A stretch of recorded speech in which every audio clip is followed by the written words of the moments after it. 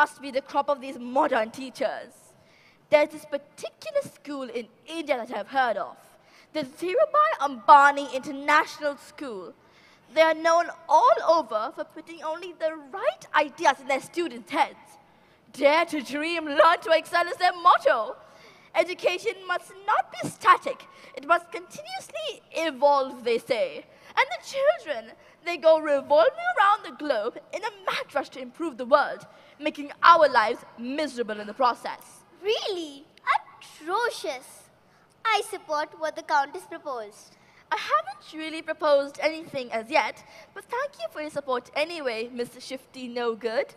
I propose that we must get the children to come here. We must tempt them away from their road to perfection and bring them to a palace of temptation. Great idea. We'll grab the kids. Lady Grabber, do not always be so besotted with the idea of grabbing. Be more subtle, more politically correct. We will entice the kids to come here on their own. Buen idea. But how? India's so far away. I know how. I am in close touch with the dreaded Transylvanian gang of goons, the Chucklehead clan. We would send them, the masters of craftiness, on our Air Albatross flight to India.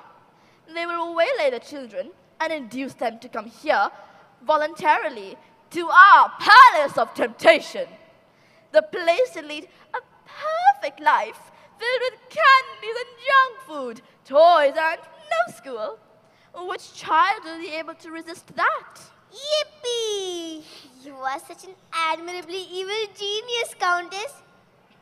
Brillante, Countess Grithiora, brillante! I still think that grabbing works better than mollycoddling, but go ahead anyway. I will text them the details of the mission and ask them to report here ASAP. Done. They should be here shortly.